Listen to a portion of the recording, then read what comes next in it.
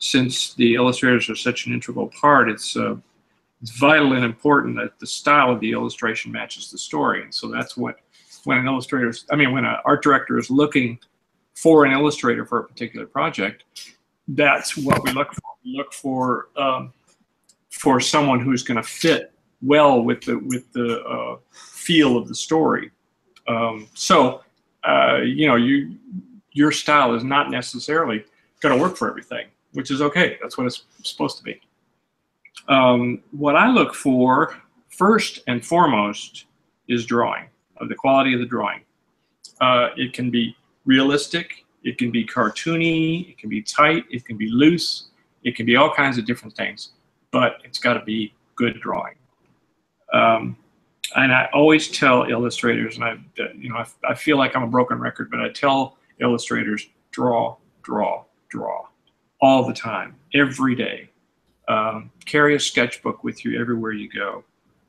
Um, one of my friends is uh, is an illustrator, and he uh, he has some very um, strong opinions on this. And one of the things he says about in, in carrying your sketchbook, he says never tear a page out of your sketchbook because uh, your mistakes are to be learned by. And if you if you uh, look at a something in your sketchbook and you don't like it, and you go, "Oh, I'm going to take that out," um, wow. don't don't do it.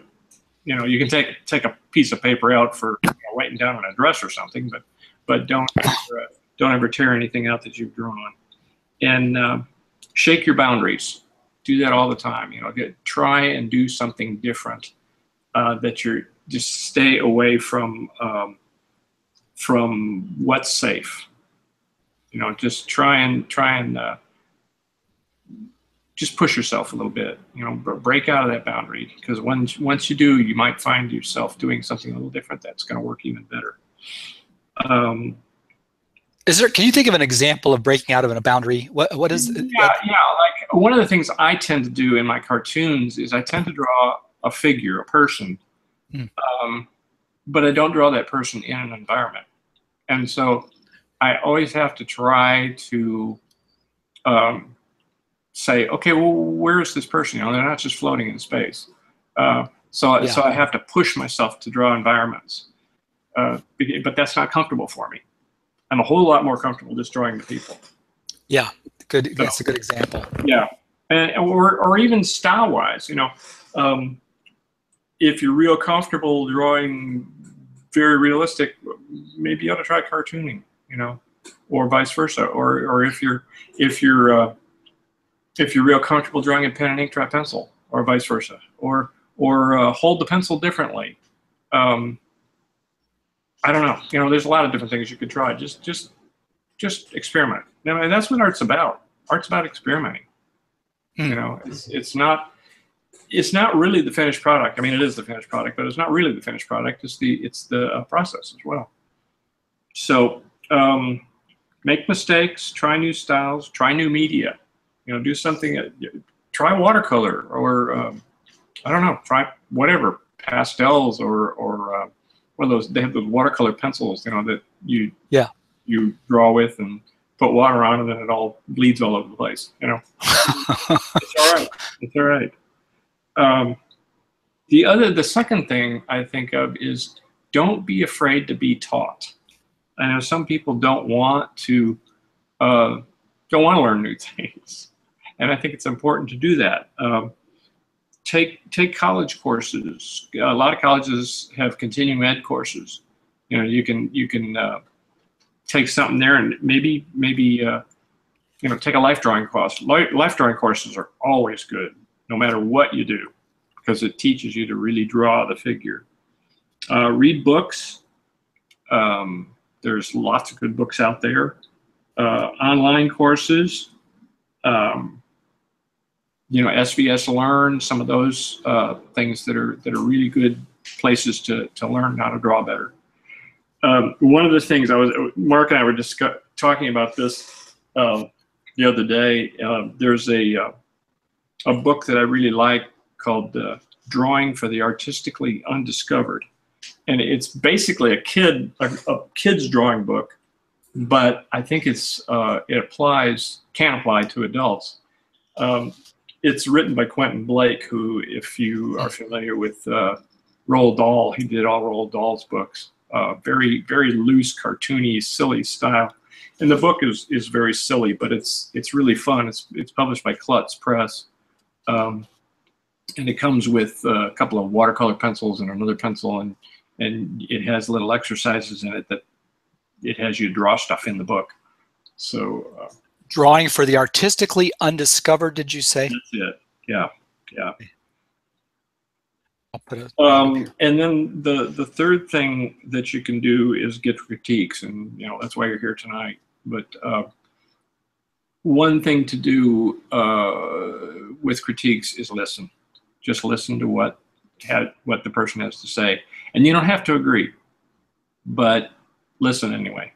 Um, I, I had one lady I critiqued one time at an SB, SCBWI uh, conference, and I told her some things that she really didn't like, and she started arguing with me.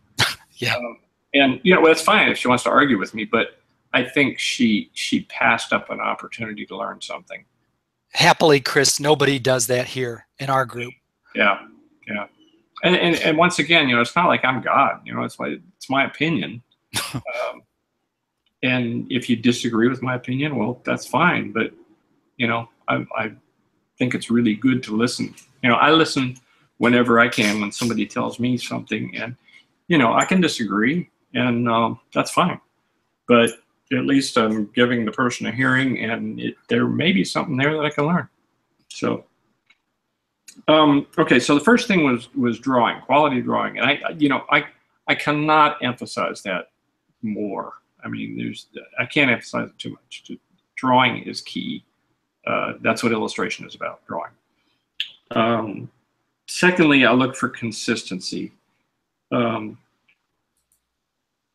carry a style and characterization through a number of illustrations, uh, and and I think I, I think it was the the last uh, critique you had the two women that I can't remember their names.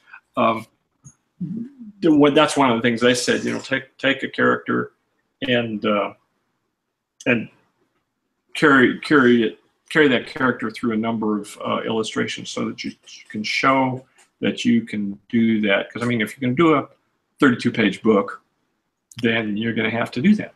You know, Yeah. You're gonna have to- your character is going to have to look the same on every illustration as far as you know their skin color, their nose, their ears, you know, all that stuff.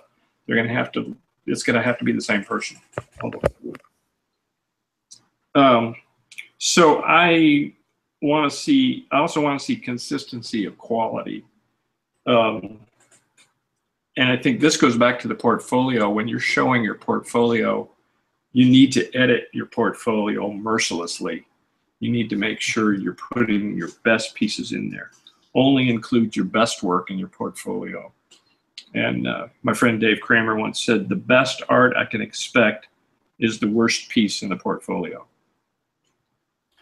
I'm trying to get my head around that. The best art you can expect is the worst piece. Hmm. it's like you look at a portfolio and you look at their worst piece in there, and that's the best you're going to expect. You're going to be able to expect. Oh, that's yeah. In in the spirit of hope for the best, but be prepared for the worst. Yeah, and that's the word. Okay. Exactly. Okay, got it. Yeah. I thought that was brilliant.